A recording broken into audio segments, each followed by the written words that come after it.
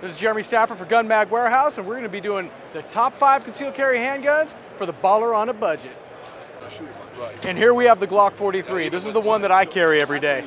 We have a barrel a little bit over three inches. We have uh, stocks, either six or seven round capacity. You can get some really good 10 rounders out there too.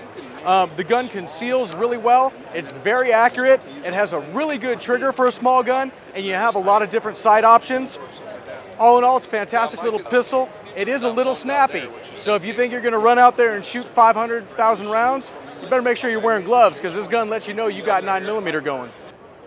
Here we have the Smith & Wesson M&P 2.0. This is the Shield, and this is the nine millimeter version. One of the cool things is, for those of you that are into other calibers, 40, 45, they also make it in those calibers. We have a 3.1 inch barrel, but unlike some of the other subcompacts, we have a seven or eight round capacity, a little bit longer in the stocks, makes it a little easier to draw, makes it a little easier to uh, get on target and be, have repeatable results. Um, the 2.0 trigger, fantastic. The gun itself has been a rugged workhorse, a lot of EDC use, a lot of off-duty police officer use. If I had any criticisms, I'd like to see about another half inch of barrel. That's gonna make concealing it a little bit easier, and it's gonna make shooting it a little bit easier. Other than that, for under $500 retail, fantastic little pistol. All right, here we have the SIG P365.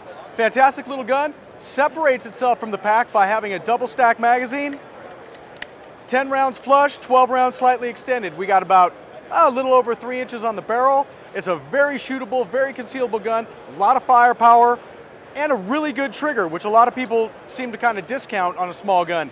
Trigger makes a difference. Um, I've got a lot of rounds through them. I've had great luck with them.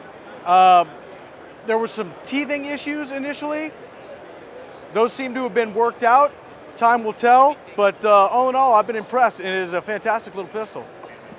And here we have the Walther PPS. This was actually one of the first very concealable, real flat, single stack nine millimeters to come out with a polymer frame and a striker fired assembly.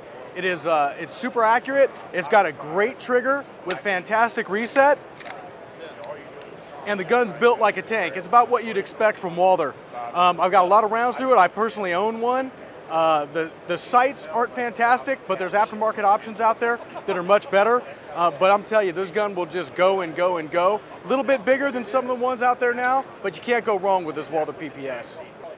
All right, and here we have the Ruger Security 9, which is a very economical pistol. MSRP about 379. Street's gonna be probably a little over 300 bucks. I can tell you, I've got a lot of rounds through them. The gun is absolutely reliable. You know what? It gives a little bit in ergonomics, little chunky. Um, the controls are, are, a little awkward. Um, the sights are good. There's available. There's different sights available. The trigger is fantastic because it's an internal hammer. It's not a striker. So you have a real clean press, which aids in, you know, getting shots on the target pretty quick. Um, not a match gun by any means, but for about 300 bucks street price, this gun won't let you down.